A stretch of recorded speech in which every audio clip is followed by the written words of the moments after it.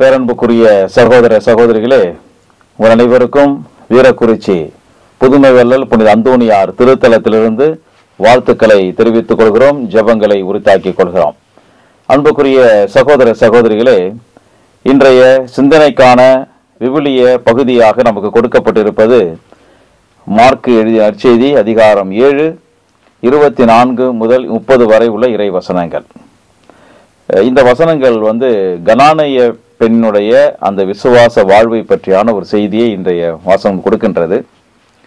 பொதுவாக கடவுளை நாம் எங்கே கண்டுகொள்கிறோம் அப்படின்னா நாம் வளமையோடு நிறைவோடு வாழ்கின்ற பொழுது பொதுவாக நாம் கடவுளை கண்டுகொள்வதில்லை. மாறாக வாழ்வு உடைந்து நொறுங்குகின்ற பொழுது கடவுளை பொதுவாக எல்லோருமே கண்டுகொள்ளக்கூடியவர்களாக இருக்கிறார்கள். அல்லது யாரும் நிரப்ப முடியாத இதயத்தின் வெற்றிடத்தில் கடவுள் தென்படுகிறார். நம்முடைய வாழ்க்கையில் நாம் வாழ்வினுடைய இதை எட்ஜில் இருக்கும்பொழுது இதுக்கு மேலே ஒரு வழியே இல்லை அப்படின்னு சொல்லுகின்ற பொழுது அல்லது வந்து நம்முடைய ஆற்றொன்னா துயரத்தில் யாரும் நம்ம வந்து ஆறுதல் படுத்த முடியாத ஒரு ஆற்றொன்னா துயரம் என்று சொல்லுகிறோம். டெஸ்பரேட் கண்டிஷன் ரொம்ப மோசமான ஒரு நிலையில். அல்லது வந்து வேறு வழியே இல்லை. கடவுளிடம் போய் கதறுவதை விட எனக்கு கடைசி நம்பிக்கை அப்படின்னு நினைக்கின்ற அந்த நேரத்தில் தான் கடவுள் நமக்கு தென்படுகிறார். அங்குதான் புதுமைகள் நிகழ்கின்றன. எல்லோருடைய வாழ்க்கையிலும் புதுமைகள் நிகழ்கின்ற எல்லா இடங்களிலும் பார்த்தோம் என்றால் அது இந்த மாதிரியான ஒரு சூழ்நிலை தான் இருக்கும். கடைசி அந்த எட்ஜில் போய் நின்றுக்கிட்டு இதுக்கு மேலே என்னால் எதுவுமே முடியாது அப்படின்னு நினைக்கின்ற ஒரு தருவாயில் கடவுள் புலப்படுகிறார். அங்கே புதுமைகள் நிகழ்கிறது என்பதுதான் இன்றைக்கு நற்செய்தி நமக்கு சொல்லக்கூடிய ஒரு உண்மையாக இருக்கிறது.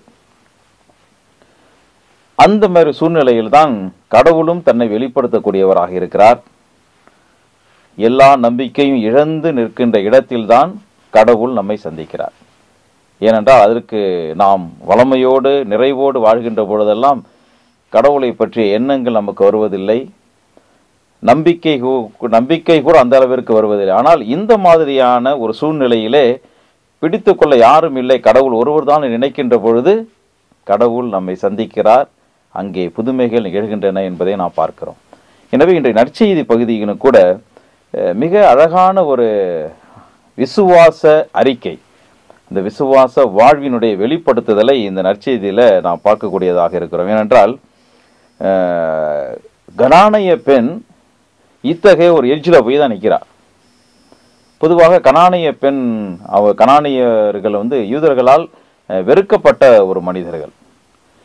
மிக மோசமாக நடத்தப்பட்டவர்கள் புறவினத்தாராக அங்கீகரிக்கப்பட்டவர்கள். இவர்களெல்லாம் இவரோட உறவு கொள்ளக்கூடாது என்று நினைத்தவர்கள். அப்படிப்பட்ட ஒரு சமூகத்திலிருந்து வந்த அந்த கணானய பெண் அதுவும் பெண்கள் மதிக்கப்படாத ஒரு சூழ்நிலையில் இருந்த ஒரு காலகட்டம்.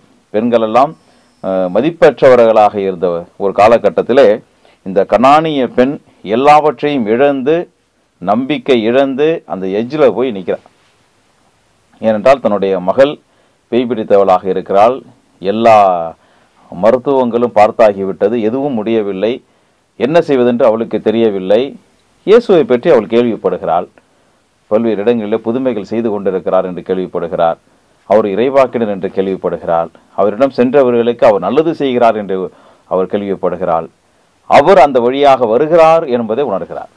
தான் இருக்கின்ற பகுதி வழியாக செல்கிறார். எப்படியாவது அவரிடமிருந்து கிடைத்து விட வேண்டும் வாங்கிவிட வேண்டும் என்ற அந்த அந்த டெஸ்பரேட் கண்டிஷன் அந்த கடைசி எட்ஜில் போய் நிற்கும்போது இவர் தான் நமக்கு வழி வேறு வழியே கிடையாது அப்படிங்கிற ஒரு எண்ணத்தில் அவள் இயேசுவை நாடக்கூடியவளாக இருப்பதை இந்த நற்செய்தி நமக்கு சொல்லுகிறது.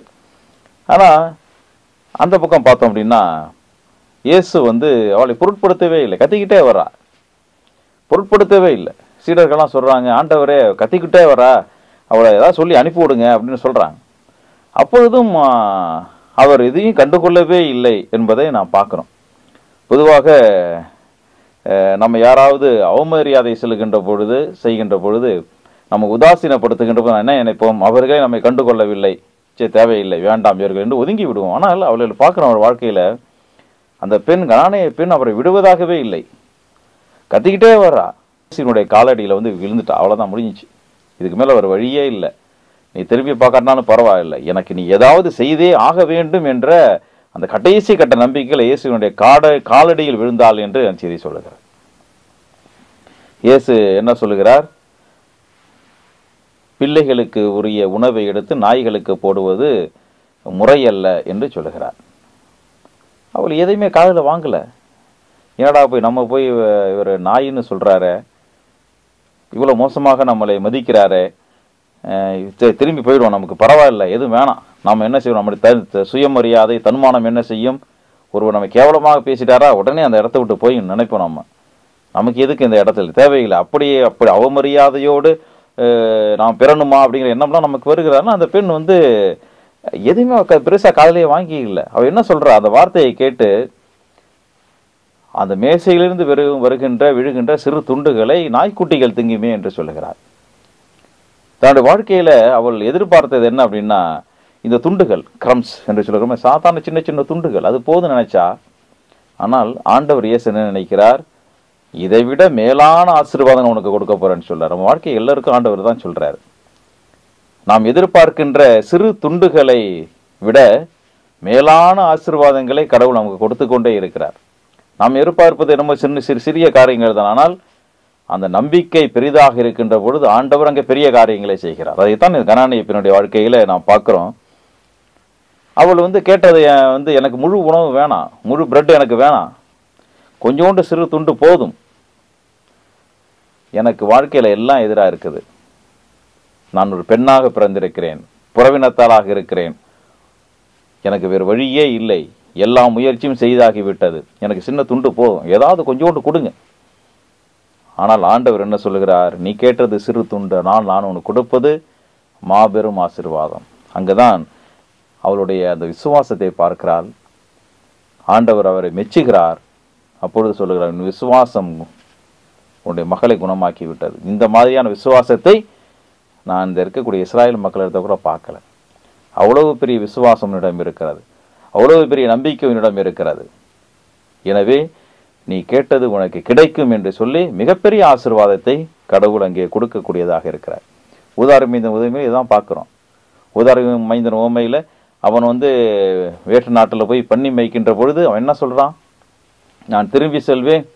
என்னுடைய தந்தையின் வீட்டில் ஒரு வேலைக்காரனாக இருப்பேன் வேலை செய்வேன்னு சொல்லும்போது அவன் ஆசைப்பட்டது சின்ன துண்டு தான் ஏதோ ஒன்று அங்கே போய் இருந்தால் போதும். ஆனால் அங்கே என்ன நடக்கிறது? தந்தை அவனை தன்னுடைய மகனாக மீண்டும் ஏற்றுக்கொண்டு மாபெரும் விருந்தளித்து மகிழ்விக்கிறார் அல்லவா? அதுதான் கடவுளுடைய பண்பு. நாம் கேட்கின்ற சிறு துண்டுகளாக இருந்தாலும் கடவுள் அதை மாபெரும் காரியமாக ஆசீர்வாதமாக நமக்கு மாற்றி கொடுக்கிறார் என்பதுதான் இந்த வார்த்தையிலே இயேசுவினுடைய வார்த்தையிலே அடங்கியிருக்கக்கூடிய உண்மையாக இருக்கிறது. எனவே ஆண்டவர் சொல்வதை அவள் கீழ்ப்படிந்தார் அவர் சொல்றார் இது எனக்கு நடக்கும் என்று நம்பினால் அது வாழ்க்கையிலே நடந்தது. எனவே அன்புமிக்க சகோதர சகோதரிகளே நாம் கடவுளிடம் கேட்பதற்கு மேலாகவே அவர் கொடுக்கிறார். நம்முடைய விசுவாசம் ஆழமாக இருந்தது என்றால் கடவுள் கொடுப்பார் என்ற அந்த அடிப்படையான உண்மை நமக்கு தெரிந்தது என்றால் கடவுள் நமக்கு கேட்பதை விட மேலான சிறு துண்டுகளை விட பெரிய ஆசீர்வாதங்களை கொடுப்பார் என்ற அந்த நம்பிக்கை இருந்தால் கடவுள் அதை கொடுக்கிறார் என்பதுதான் இந்த நற்செய்தி நமக்கு சொல்லக்கூடிய உண்மையாக இருக்கிறது. எனவே அந்த கனானைய பெண்ணுக்கு இருந்த அந்த மாபெரும் நம்பிக்கை நம்முடைய வாழ்க்கையிலும் இருக்குமே என்றால் நாம் கேட்கின்ற சிறு துண்டுகளை தாண்டிய மாபெரும் ஆசீர்வாதங்களை கடவுள் நமக்கு கொடுக்கிறார் என்ற அந்த உணர்வோடு தொடர்ந்து கடவுள் மேல் அதீதமான அந்த நம்பிக்கையும் பற்றையும் கொண்டிருப்போம். ஆண்டவர் நம் அனைவரையும் நிறைவாக ஆசீர்வதித்து வழிநடத்துவார்.